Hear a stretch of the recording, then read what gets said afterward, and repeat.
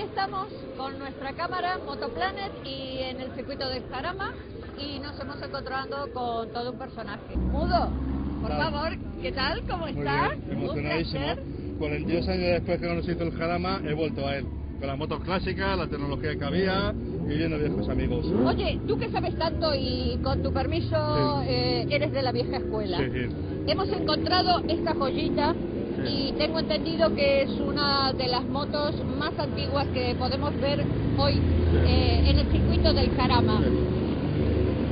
Veo que hay particularidades, eh, por ejemplo, como el caballete, como los puños, eh, El anclaje, el anclaje. Eh, madera, pues como tienen también los puños, no llega a flotar lógicamente por el hierro, pero los puños son de madera, tallados. Era una moto del año 36, el sistema de horquilla va con el muelle y este sistema con la, para poder graduarlos. Es del año 36, está fabricada en Bélgica, se trajeron dos motos de este tipo. ¡Qué maravilla! No- Dime tú, eh, tengo entendido que esta escudería, esta marca, Sí. ha fabricado motos para la guerra, ¿no? Sí, le pilló el conflicto bélico y todas las que tenían, no solamente fabricantes de motos, sino que se dedicasen a otro tipo de producción, utilizaban o bien las motos o bien las calderas que tenían o los hornos para fabricar armamento. Sé que tienes una afición, que no solo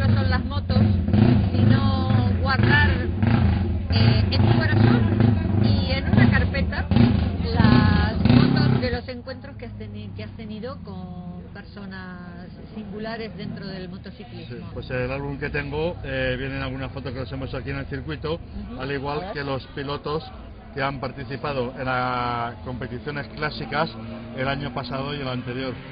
Este cuando veníamos de acampada, las fotos en blanco y negro, esta del año 83, con los amigos, con los amigos del motoclub.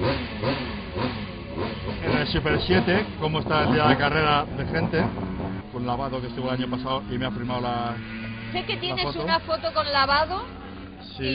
y, y su paddock girl. Sí. que es un paddock boy, ¿no? Sí, Pero lo, lo extraño de, de esta foto es eh, la sombrilla, el paraguas que llevaba. A ver si la encontraras por ahí, así la mostramos a Acaba de cámara. firmarme la hora. Es del año 79 en San Carlos, en Venezuela.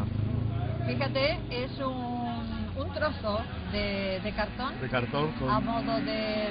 Bueno, yo creo que en realidad esta es la verdadera esencia del deporte. Sí. Eh, solo importa la máquina Sí. y, y Eh, el deportista, el el, piloto. Es- Exacto. Y, y el resto... mm, Es el romanticismo que había en la época, que ahora se va perfeccionando con el merchandising, la publicidad y el dinero, pero bueno. que bueno, que también va- vamos hay a ver un que, suyo, sí, sí, sí. que hay que no reconocer hay que, es ponerlo- sumamente y por necesario supuesto- justamente... Y por supuesto vale mucho, vale mucho el equipo Claro. de competición, no como la moto esa que en- sentados en un bordillo lo reparábamos, la poníamos a punto para correr entre los polígonos el último grito que había en las ciudades, antes eran calles urbanas, como he visto yo, obviamente con 6-7 años y a ver las carreras en el retiro en Madrid. Este es mi hermano, Aurelio, este es el Piraña, mira qué hermoso que está, era cuando la época era azul, pues se pusimos lo de Piraña, y este fue en el 83 en el en la parte de Super 7 como se veía, pero fíjate que no había tanto tanta industria como hay ahora en ello. Eh, ves la furgoneta, los R12, los vehículos de la época, en plan, pues era una prueba del mundial además. ¿De qué año son estas fotos? Estos son del año 78, 79, que veníamos a correr con la OSA aquí a Jarama y la Voltaco, que veníamos todos amigos del motoclub.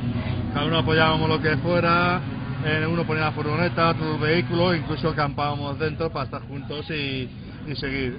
De hecho, con muchos de ellos nos seguimos juntando en algún evento como este y nos gustaría que volver a juntarnos otra vez.